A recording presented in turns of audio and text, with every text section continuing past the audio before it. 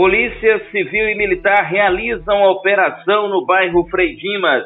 Na tarde desta segunda-feira, populares começaram a relatar pelas redes sociais que ouviram tiros no bairro Frei Dimas, em Teófilo Otoni. Rapidamente, a equipe da Rede Migrantes foi até o local para averiguar a situação.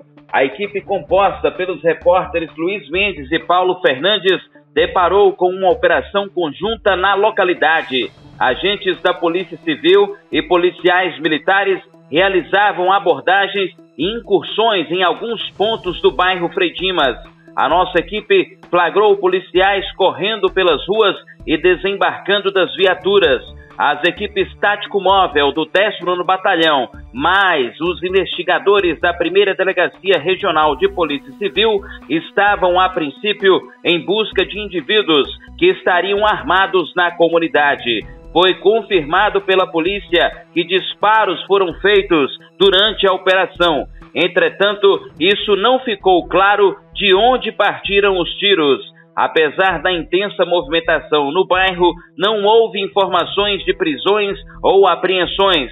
Outro detalhe é que também não houve registro de pessoas feridas. Os indivíduos armados estariam circulando pelas ruas do bairro e isso trouxe temor à população. Rapidamente, a polícia foi acionada e chegou no local. Porém, com a aproximação das viaturas, os elementos correram e, apesar dos esforços, não foram até o momento localizados. A polícia informou que os trabalhos vão continuar e que as abordagens serão intensificadas na localidade. Da redação para a Rede Imigrantes, repórter Elvis Passos.